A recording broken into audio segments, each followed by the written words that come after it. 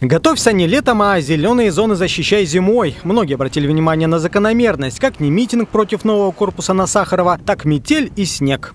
Я все-таки не мистик, и я не связываю э, атмосферные процессы со своей личностью. Но, а, ну и, наверное, какой-то символизм в этом есть, да. А, ну, как в старой песне, да, пелось «Вихри враждебные веют над нами», может быть, а, что-то что такое, да.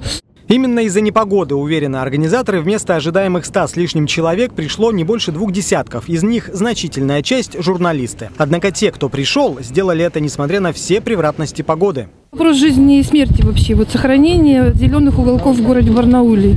Их вырубают последние годы с какой-то странной э, маниакальностью, я бы сказала. Уважаемые граждане, поймите, застроить в центре можно все.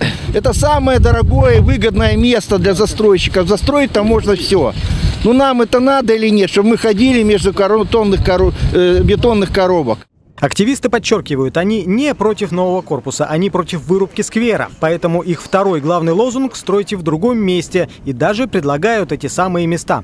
Одно из мест – это продолжение Обского бульвара, так называемого. Здесь, ну, жилье, да, под снос нужно необходимо. Тем более люди сами ждут, люди готовы продать. Многие там уже в этих домах не живут. Очень часто дома стоят пустые, прям с табличкой «продаю». И второй вариант, на котором наиболее вероятней, э, скорее всего, согласовать тоже это место под строительство. Да, возможно, его придется выкупать, но это Ленина 106Г, если не ошибаюсь, рядом с бывшим домом быта.